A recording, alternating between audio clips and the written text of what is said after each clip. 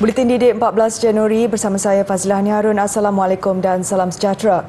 Menyahut usaha negara untuk melahirkan tenaga mahir tempatan, syarikat konsultan pendidikan Akademi YEG melancarkan YEG Pesta Sambung Belajar 2023. Ia selaras sasaran Malaysia untuk menjadi negara maju dan berpendapatan tinggi.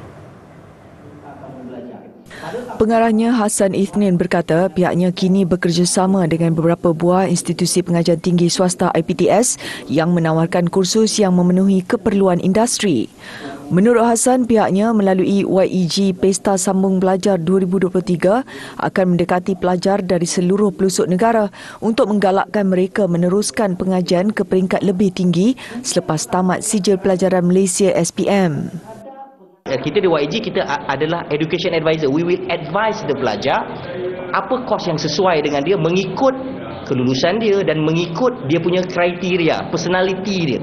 Ah, apa profesi yang sesuai untuk dia.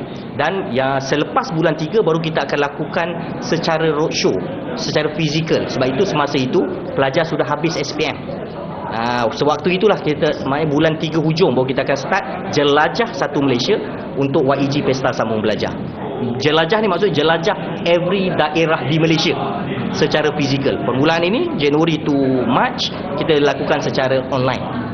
Dalam majlis pelancaran YEG Pesta Sambung Belajar 2023 siang tadi, sesi perkongsian turut diadakan oleh beberapa tenaga pengajar terkenal.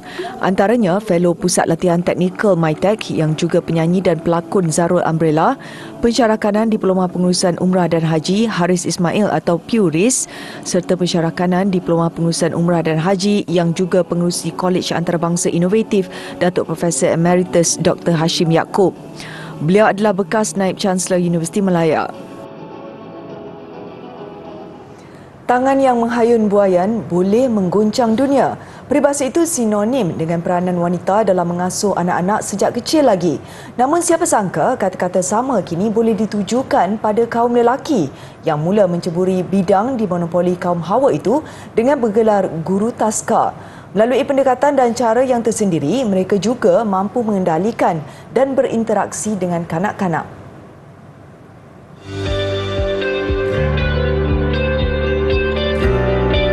Tak sampai 10%. Itu peratusan jumlah lelaki yang berani menongkar arus menceburi bidang pendidikan awal kanak-kanak dengan bergelar guru taska. Namun tidak bagi adik-beradik ini, Ahmad Syamil Zulkarnain 32 tahun serta Ahmad Syariman Zulkarnain 27 tahun yang menganggap kerjaya itu menyeronokkan dan mempunyai aura tersendiri. Ahmad Syamil berkata kehilangan ayah ketika remaja memaksanya selaku anak sulung mengambil alih peranan seorang bapa kepada enam adiknya. Bertitik tolak daripada itu, kasih sayangnya terhadap kanak-kanak lebih menebal. Cikgu lelaki tak boleh mandikan kanak-kanak, tak boleh tidurkan kanak-kanak. Waktu mandi, waktu tidur, kita perlukan sedikit, uh, bukanlah kata kekerasan, tapi tegas. Uh, contohnya beratur dalam kumpulan jangan lari dalam toilet nanti jatuh. Waktu tidur tidur jangan jangan main. Jadi cikgu lelaki tak tak dapat menjaga daripada situ. Jadi bila situ kanak-kanak ni lebih suka lelaki sebab lelaki tak pernah marah. Kesan emosinya ialah bila ada cikgu lelaki lebih ceria.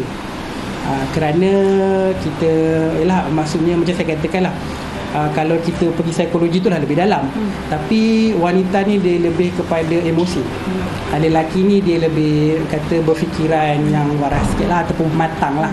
Maksudnya tapi wanita pun dia hebat-hebat tak masalah. Okay, daripada situ kita perlukan gabungan kedua-dua. Meskipun mempunyai diploma dalam e-dagang, kerana cinta terhadap kerja yang berkenaan, Ahmad Syamil turut mengambil diploma pendidikan awal kanak-kanak. Kini hampir 10 tahun, beliau menjawat jawatan sebagai guru taska. Encourage tu, first kali minat pun penting. Ha, kalau kita tak suka kanak-kanak, kita cepat marah, janganlah masuk. Sebab nanti dah jadi kes cedera. kes cedera atau sebagainya. Kalau kata ada minat menjagakan anak-anak apa, anak buah di rumah atau sebagainya dan rasa peluang ni boleh pergi jauh. Maksudnya dia sendiri ada, boleh sebab dalam bidang ni lelaki masih lagi diperlukan. Jadi kalau rasa nak uh, kata peluang yang agak kurang daripada persaingan lelaki tu bagi Ahmad Syariman terdedah dengan keluarga yang menyukai kanak-kanak mencorak sama perwatakannya. Stigma negatif berhubung golongan lelaki menjadi guru taska perlu disangkal. Katanya masyarakat kini sudah sedar keperluan jawatan itu tanpa mengira gender kita pun tak nak salahkan macam saya kata isu di sini di mana Malaysia ni kerap ada masalah pedofil kak benda-benda tu mostly yang tak berdaftar taska yang tak berdaftar. Dia tiada kurang-kurang kata macam kurang dari segi ajaran kanak-kanak ni pendidikan kanak-kanak ni. So maknanya dia buat tu memang first tak ada lesen lah. Uh, so mostly yang tu. So biasanya parent nak murah ke apa ke dia akan hantar ke situ. And then kita tak nak salahkan cumanya itu pilihan orang. Macam itulah risiko-risiko yang orang akan hadapi mempunyai sifat sabar, sayang serta bersedia dengan pelbagai ragam si cilik antara kriteria utama untuk menjadi guru taska. Siapa sangka kerjaya yang sebelum ini hanya dikuasai oleh kaum wanita mula dipelopori kaum lelaki. Benarlah kata pepatah, hendak seribu daya, tak nak seribu dalih. Izzati Rizan melaporkan. Ya sayang.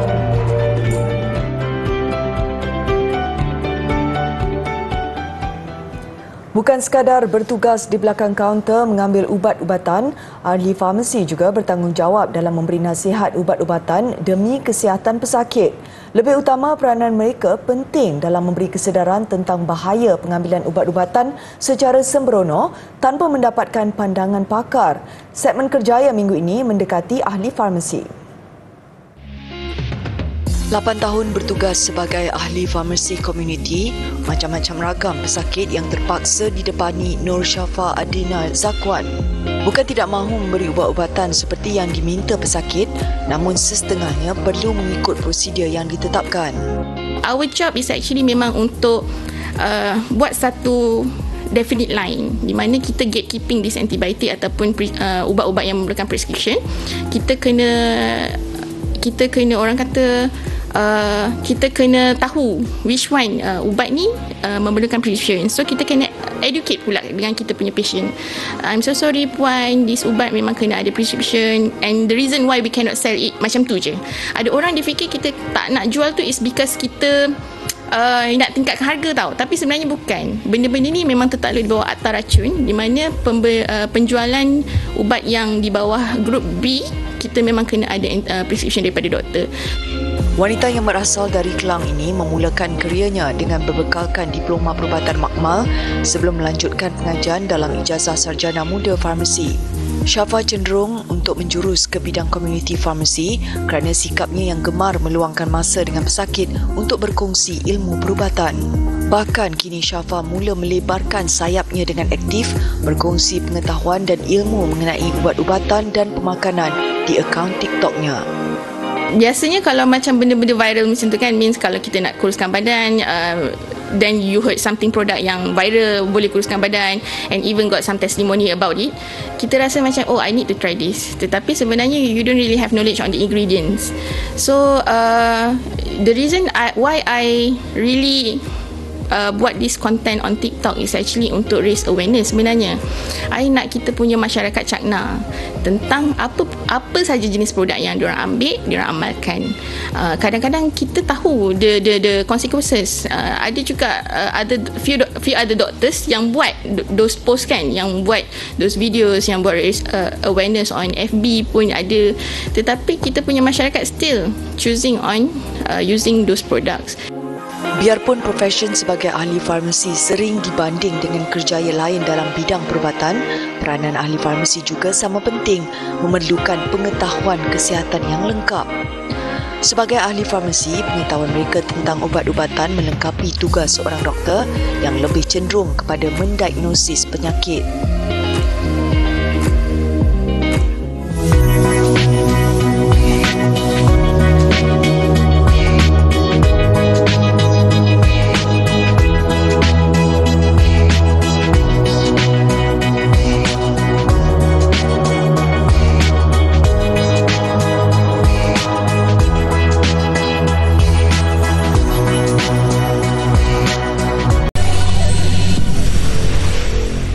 Jabatan Pendidikan Negeri Terengganu baru-baru ini mengambil inisiatif mengadakan satu karnival sukan dan kebudayaan Fun Ball and Kids Athletic bagi melatih murid-murid prasekolah. Program bertujuan membentuk kepribadian murid yang bukan sahaja berilmu pengetahuan tetapi memiliki nilai sahsiah dan seterusnya dapat menabur bakti kepada kesejahteraan negara. Ikuti laporan disediakan TV PSS Liches TV, Sekolah Kebangsaan Alur Lintah Besut Terengganu untuk segmen Wartawan Cilik minggu ini.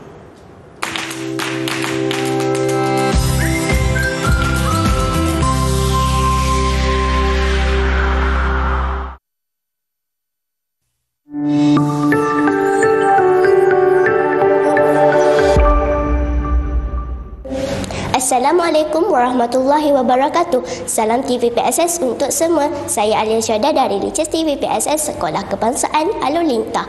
Baru-baru ini telah diadakan Karnival Sukan dan Kebudayaan Prasekolah Peringkat Negeri Terengganu. Kami juga turut diberi peluang untuk membuat liputan dalam karnival tersebut. Jom sama-sama kita saksikan warna-warni karnival yang berlangsung. Karnival Sukan dan Kebudayaan ini bertujuan memupuk semangat ketekanan dan kebudayaan di samping menjungkil bakat terpendam murid-murid prasekolah serta memupuk semangat berpasukan. Bagi menyemarakkan kembali kegiatan sukan dan kebudayaan, pelaksanaan dan pengukuhan dasar satu murid satu sukan dan seni budaya telah dimulakan di sekolah. Ianya bertujuan untuk memastikan penglibatan setiap murid dalam aktiviti sukan dan kebudayaan di sekolah, menerapkan nilai-nilai sukan di kalangan seluruh warga sekolah, serta mengembalikan sekolah sebagai institusi utama untuk melahirkan bakat-bakat sukan dan kebudayaan dari peringkat akar umbi. Lalui aktiviti sebegini, diharapkan dapat memberi pengalaman dan pendedahan awal kepada murid dalam penyertaan pertandingan, sukan dan mempertingkapkan tahap stamina selaras dengan perkembangan motor halus dan motor kasar murid. Ianya juga diharapkan dapat mengeratkan silaturahim antara guru dan murid dari seluruh negeri Terengganu. Tahniah diucapkan kepada semua yang terlibat. Alhamdulillah apa yang cikgu lihat amat meriah, menarik sekali dan uh, teruja cikgu lihat uh, berbagai ragam rentak anak-anak khasnya para sekolah. Jadi ini satu uh, pertandingan yang baik, bagus bagi membina pewatakan ataupun kemajuan murid, uh, membekalkan murid-murid ke alam uh, sekolah nanti kerana bila mereka dah biasa dengan perkara-perkara segini insya-Allah bila naik di tahun 1, 2 dan berikutnya mereka telah didahkan dan dan insyaAllah mereka telah mahir biasa dan akhirnya uh, boleh uh, menjadi uh, yalah, uh, bakat-bakat mereka boleh diketengahkan nanti bila mereka di tahun 1, 2 dan seterusnya. Jadi uh, Cikgu Ahmad uh, teruja melihat pertandingan ini dan harus uh, kita perhebatkan lagi insyaAllah pada masa akan datang uh, supaya lebih ramai lagi boleh uh, menyertai pertandingan sebegini. Wah, sungguh berbakat adik-adik prasekolah kita. Semoga mereka terus berjaya. Sekian, saya Alia Syahda melaporkan untuk Licis TV Sekolah Kebangsaan Alur Lintah. Sekian, jumpa lagi.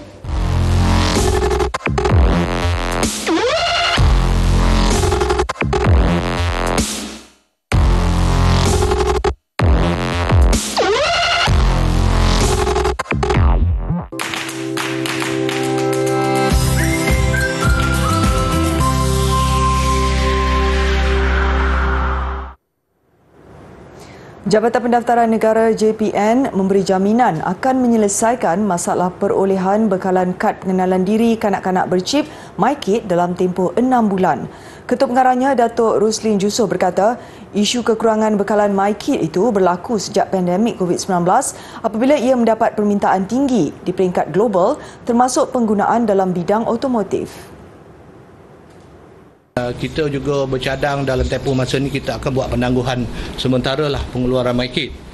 Uh, walau bagaimanapun uh, di sini saya ingin maklumkan uh, proses ini akan berterusan di mana pengeluaran MyKit akan kita laksanakan juga setelah penangguhan ini kita kita uh, apa ni perolehan baru setelah bekalan chip uh, dapat kita selesaikan. Walau bagaimanapun apa yang saya harapkan uh, setiap uh, kanak-kanak yang mempunyai sijil lahir sebenarnya sijil lahir itulah dokumen pengenalan diri mereka Beliau bercakap kepada media selepas menyerahkan kad pengenalan melalui program Menyemai Kasih Rakyat Mekar kepada kanak-kanak orang kurang upaya OKU Nur Alia Amar 12 tahun di Kampung Bukit Godek, Semabuk Dalam, Melaka siang tadi. Kata Datuk Ruslin, semua agensi kerajaan dan swasta perlu menerima penggunaan sijil kelahiran kanak-kanak bagi ibu bapa yang masih menunggu kelulusan permohonan MyKit. Ini kerana jelasnya MyKit bukan satu-satunya dokumen diiktiraf kerajaan kerana sijil kelahiran juga adalah dokumen yang sah. Bagaimanapun tambahnya jumlah pemohon yang belum mendapat MyKit adalah rendah. Beliau juga meminta semua ibu bapa bersabar selain memberi jaminan penyerahan MyKit berkenaan akan dilakukan secara berperingkat kepada pemohon. Setakat ini, tambah beliau, JPN mengagihkan hampir 293,000 kad pengenalan di seluruh negara melalui program Mekar sejak 2013.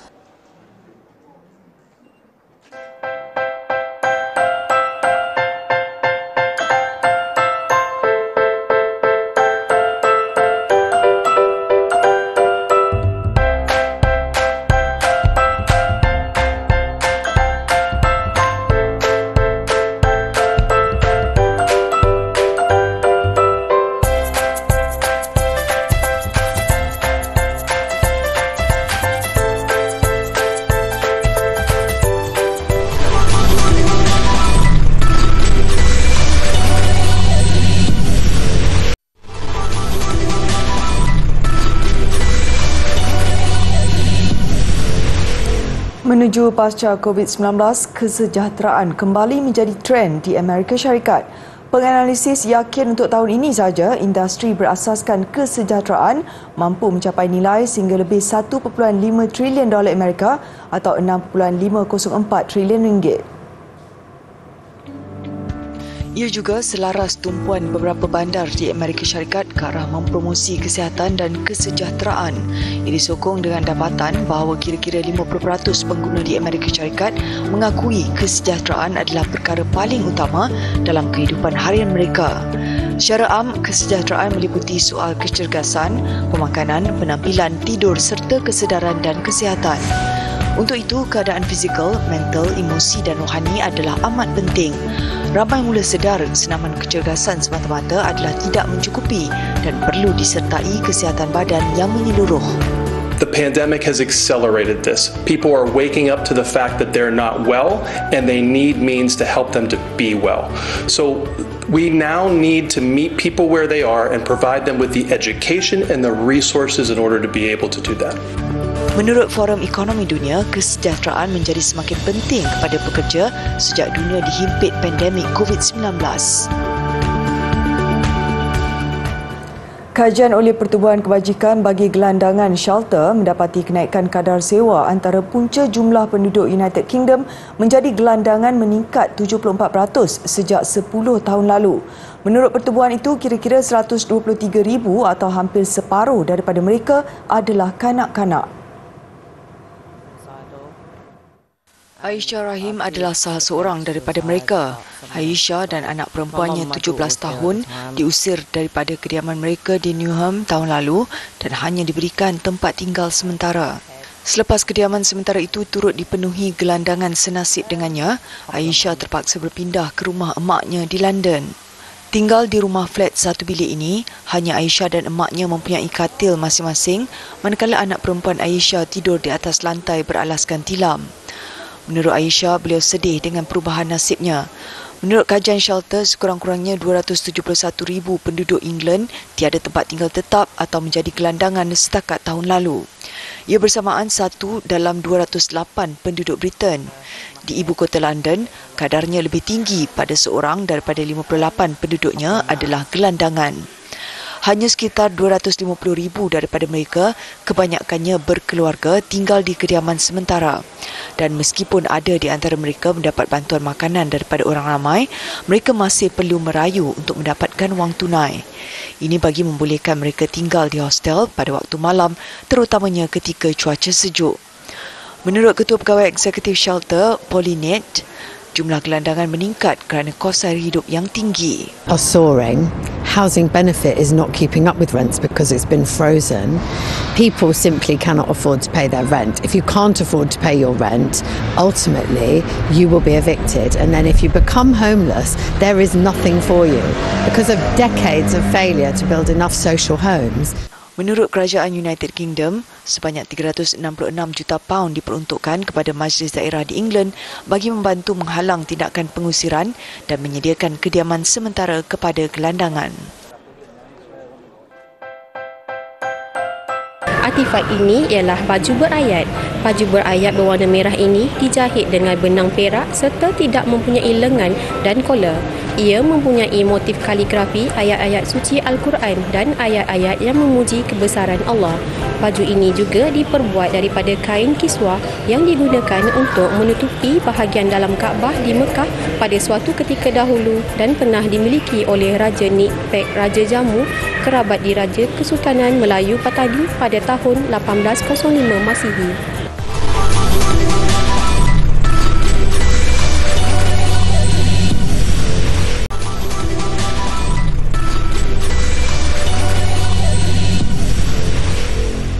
Sukan badminton terbuka Malaysia, pilihan kedua An Si Yang dari Korea Selatan menepati ramalan mara ke perlawanan akhir apabila menundukkan juara Olimpik yang juga pilihan keempat Chen Yufei dari China. Yang ini untuk Si Yang mendahului 18-10 seterusnya menang 21-12 dalam set pertama. Set kedua lebih mendebarkan. Terikat 19 sama, lawannya Yufei berjaya mengorak langkah terlebih dahulu. Menang 21-19, perlawanan diheret ke penentuan selepas kedua-dua pemain terikat satu sama. Kegagalan Yufei membalas pukulan Si Yang menyebabkan permainan segera berakhir. Si Yang mara ke perlawanan akhir menang 21-12, 19-21, 21-9. Ini juga kemenangan kedua Si Yang ke atas Yufei dalam 10 pertemuan mereka. Perlawanan akhir pertama Piala AFF, Vietnam bernasib baik terselamat daripada dimalukan. Jaringan penyamaan ketika permainan berbaki 2 minit sebelum tamat membantu Vietnam mencatat keputusan seri 2 sama dengan Thailand dengan kedua-dua pasukan akan bertemu sekali lagi pada Isnin ini di Thailand. Dilabel sebagai pasukan pilihan musim ini, penampilan awal Vietnam agak jelas terutama selepas Nguyen Tien Lin melayangkan badan untuk menanduk masuk gol pertama perlawanan. Berikutnya masih Lin yang menjadi tumpuan. Peluangnya untuk menambah jaringan tidak kesampaian apabila dia didakwa telah menasari penjaga gol Thailand. Saingan berikutnya lebih sengit dengan kedua-dua pasukan mula bercakaran.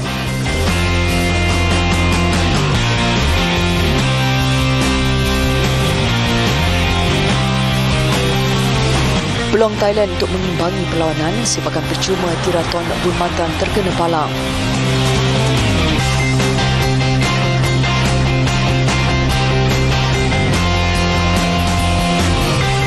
Minit ketiga separuh masa kedua, Thailand mula memecah kebuntuan gol. Tiraton tenang memperdaya seorang pertahanan Vietnam untuk disusuli satu rembatan deras terus ke dalam gawang lawan. Minit ke-63, kedudukan berubah lagi. Sarah Shuyen bijak melepasi perangkap offside Vietnam untuk disusuli gol kedua Thailand. Ketinggalan 1-2, Vietnam kembali lega apabila pemain gantiannya Vu Van Tan meledakkan gol penyamaan ketika permainan berbaki 2 minit akan tamat.